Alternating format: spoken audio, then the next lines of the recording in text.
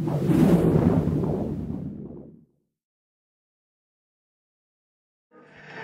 missing up, you know? Thank you, thank you. Mm. Ah, g'day. No one's I can see you. I'm the set. Look, you know, it's a hard life filming on location. As a matter of fact, we're down the pub the other night. I was having a root beer. Was alright, but the beer was a bit flat. And his bloke come up to him and he said, No, would you like to buy a battery charger? And I says to him, But is it an ENJA battery charger? And he goes, No, no, it's not. Well, that really made me sick. So I was.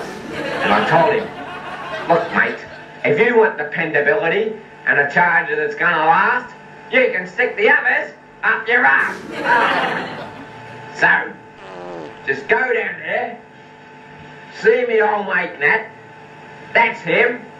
He's the boss down there. And if he's not down there, you can see his son Steve. He told me.